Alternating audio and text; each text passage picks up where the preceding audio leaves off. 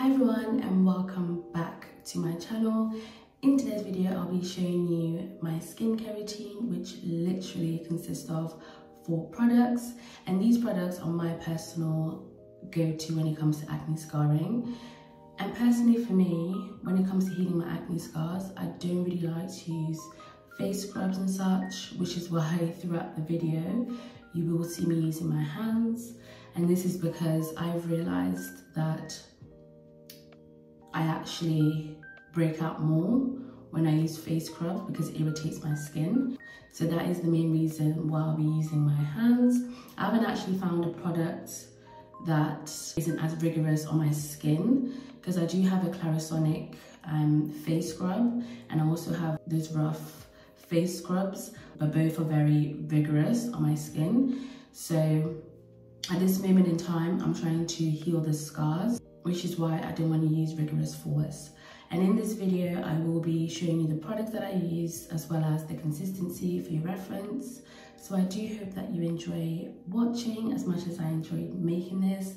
I am slowly but surely building my confidence to YouTube, so please bear with me. And without further ado, let's get into the video. I start off with La Roche-Posay Purifying Foaming Gel for Oily Sensitive Skin. And this product is colorant, soap, alcohol, and paraben free. I love this product because it always leaves my face feeling super, super, super fresh. And I like to start off with this foaming gel because it literally feels like a wipe in gel form, if that makes sense.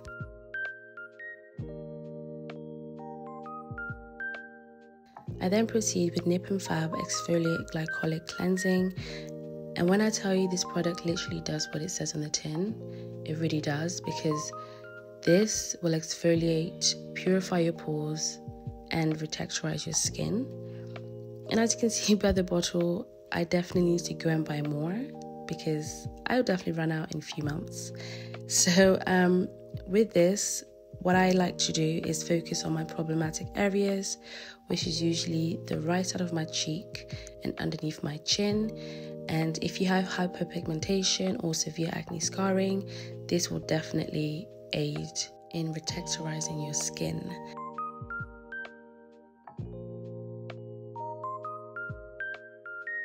And after exfoliating, I use Soap and Glory Vitamin C Facial Wash, which is great for fading any type of scarring.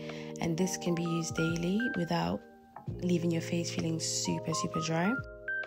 And personally, I tend to use this product every so often because vitamin C is a great lightening agent. So it does help fade and lighten any scarring. And gradually over time, I have noticed a huge difference when using this product. So I would highly recommend this facial wash as well as any products really with vitamin C. So if you don't have vitamin C in any of your skincare products, I'd highly suggest you buy some.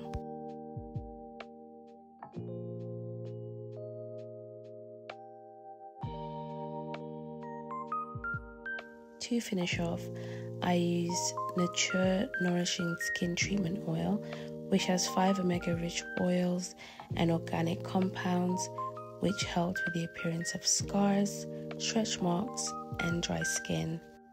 I like to apply my oils whilst my face is still wet, so then it soaks in and it just does its thing. I'm currently on my second bottle. I never thought that I'll ever come across an oil that can transform your skin in two weeks. Well, that was until I found Nuture. And when that finishes, I'll be buying more and more and so on and so forth because this oil is truly magical. I mean, the glow on my face speaks for itself.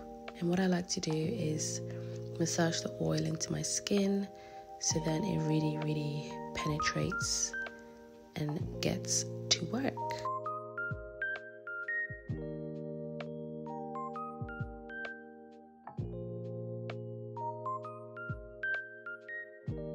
Thank you so much for watching this video.